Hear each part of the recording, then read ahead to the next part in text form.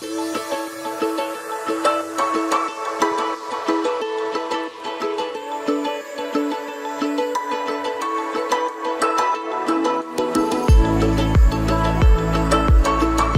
staan hier bij de Tjamme in Beerta en hier wordt vanmiddag een zomermarkt gehouden. En vanmiddag gaat er nog wat bijzonders gebeuren.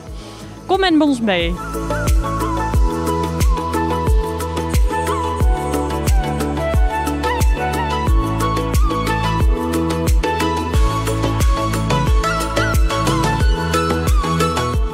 Naast Karin. En wat doen jullie als organisatie van Vrienden van de Tjamme? Stichting Vrienden van de Tjamme, dus een stichting. En wij beheren eigenlijk heel simpel gezegd de spaarpot die er binnen de stichting is. En vanuit die spaarpot proberen wij gewoon bepaalde projecten te financieren. En dan moet je denken aan sociale projecten of dingen die hier zijn gerealiseerd om en bij de Tjamme. En wat gaat er hier allemaal vanmiddag gebeuren? Wij hebben hier vandaag een zomermarkt. En dat is een zomermarkt met hele diverse stands zoals je kunt zien. Er zijn, worden lekkernijen verkocht. Er zijn hier boerderijstreekproducten die verkocht worden. Er worden handwerken verkocht. De Stichting Vrienden van de, van de die hebben een stand. Daar kun je donateur worden. En we hebben een hele leuke loterij. En we zitten met z'n allen al heel stiekem op onze horloge te kijken.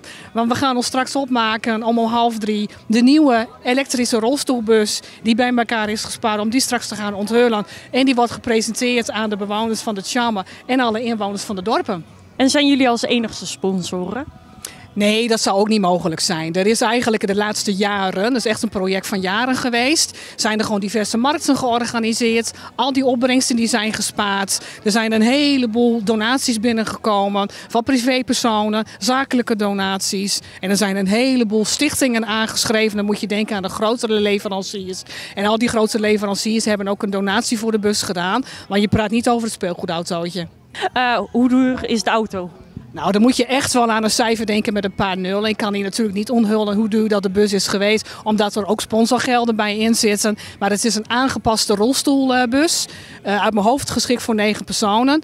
Echt helemaal elektrisch. Er is ook een hele grote overkapping bij geleverd met zonnepanelen. Dus we zijn eigenlijk ook in de voor in de toekomst gewoon zelfvoorzienend. En weet je wat zo leuk is? Die bus is zo belangrijk voor onze bewoners, want die bewoners genieten gewoon van een middagje weg. De bus is ook twee middagen in de week beschikbaar voor de bewoners van de En dan moet je denken aan heel simpele visje eten in te munten. Een rondrit door het mooie Wisterwolde. Soms gaan de bewoners gewoon even winkelen in het winkelcentrum in Hoge Zand. En als je dan ziet hoe die bewoners hier terugkomen, even uit het gebouw, sociaal praatje met elkaar, nagenieten, s'avonds koffie drinken, oh we hebben een leuke middag gehad. En wat ik zelf heel belangrijk ben, vind en heel veel respect voor heb, is gewoon het feit dat dat allemaal gedraaid wordt op vrijwilligers. Daar heb ik zoveel respect voor. Ook vandaag, kijk eens in het rond. Dat, dat doet zo goed, daar ben ik zo trots op. En krijgen jullie nog veel andere projecten of andere activiteiten? Ja, het is de bedoeling dat sowieso wij een paar keer in het jaar toch wel iets leuks gaan doen. Wij hebben het besturen overgenomen sinds afgelopen februari. We zijn nu met een groep van zeven personen. En deze stichtingbestuur heeft ervoor gekozen om ook veel meer zichtbaar te zijn voor onze bewoners. En wij gaan ook meer dingen organiseren. Wij hebben gezegd, het is heel leuk om projecten mede te financieren. Als je bijvoorbeeld naar onze overkapping kijkt in de tuin. En bankjes zijn hier geplaatst in nog meer projecten.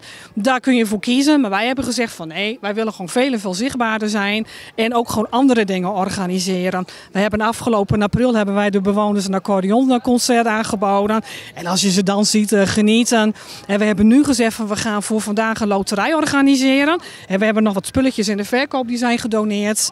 En we gaan eigenlijk uh, proberen om daar met de kerstdagen nog weer iets leuks van te gaan doen. En dan gaan we met elkaar brainstormen van goh wat is leuk. En dan komen er vanzelf weer hele leuke projecten bovendrijven. Maar de kast moet wel gespekt worden.